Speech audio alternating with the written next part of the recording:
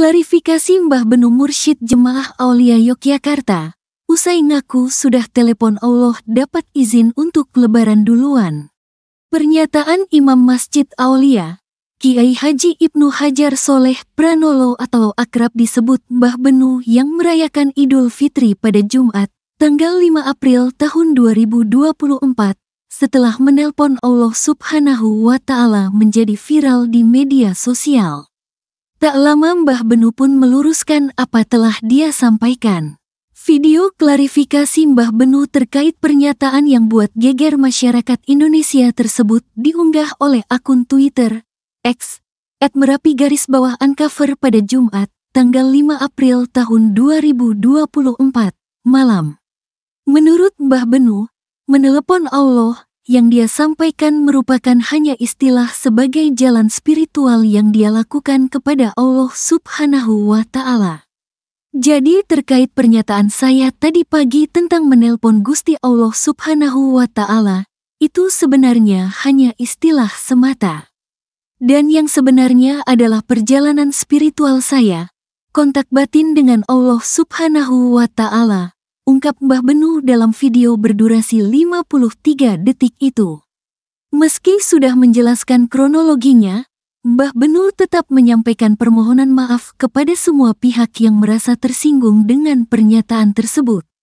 Apabila pernyataan saya menyinggung atau tidak berkenan, saya mohon maaf sebesar-besarnya kepada semua pihak. Terima kasih, ungkapnya sambil tersenyum.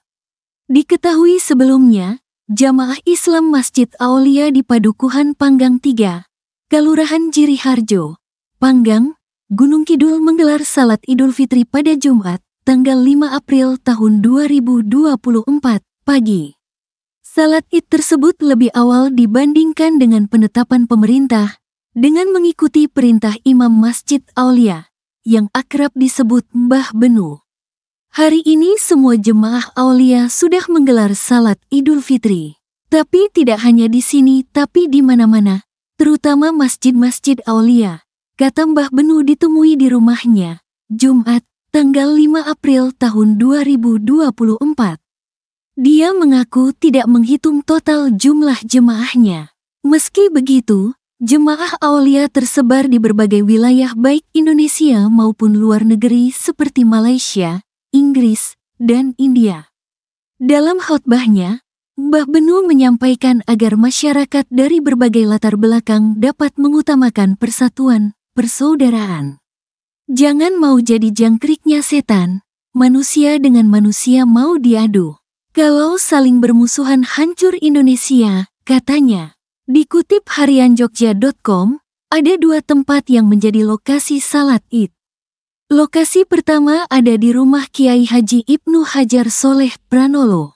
Sedangkan, Lokasi kedua ada di Masjid Aulia yang terletak sekitar 50 meter di sisi barat rumah Mbah Benu.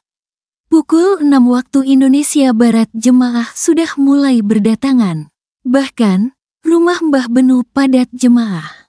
Jemaah sisanya menuju Masjid Aulia mengingat masih banyak ruang yang kosong. Salat id baru dimulai pukul 7 waktu Indonesia Barat dan selesai pukul 7.30 waktu Indonesia Barat.